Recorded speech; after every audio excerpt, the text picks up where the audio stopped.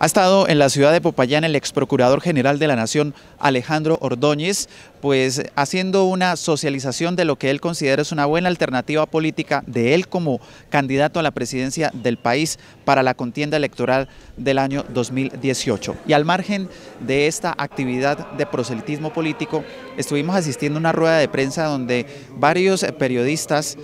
todos en pleno, le hicimos las preguntas que parece ser le incomodan al alto funcionario de Colombia en relación, por ejemplo, con los nombramientos que hizo durante su cargo como procurador de la Nación y otros aspectos eh, como cuando fue destituido o fue declarada nula su elección en ese alto cargo. Muy, muy agresivo pudiera decirse, ha contestado frente a las inquietudes de los periodistas aquí en el departamento del Cauca, en un capítulo muy parecido al que vivió en las últimas horas con Néstor Morales de Blue Radio.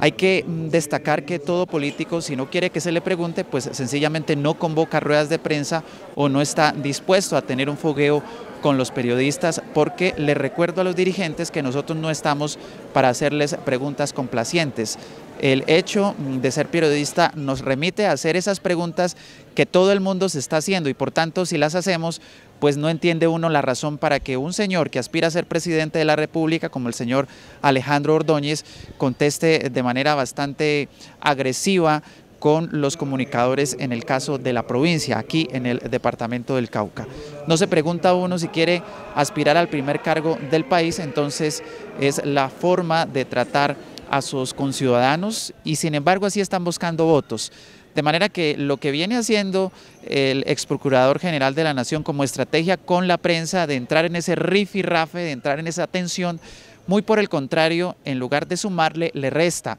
Debería ser un poco más consciente en ese sentido. Palabras más, palabras menos que nos dijo que nosotros simplemente estamos haciendo mandados al régimen. Y quizás tenga razón en algo, en que algunos periodistas han dejado de lado su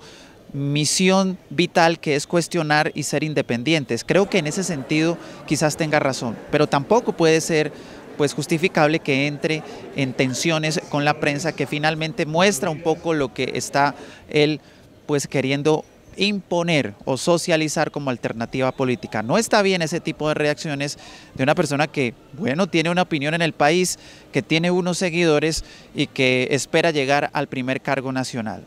Es una persona muy conservadora en su pensamiento, dirán algunos muy arcaica. Es una opción que algunas personas desean escuchar, pero no es la manera para poder ganarse y seducir a la gente para obtener votos y obtener algún tipo de apoyo en la contienda presidencial. De manera que esas cosas que pasan con los periodistas luego, pues se las cobran en las urnas.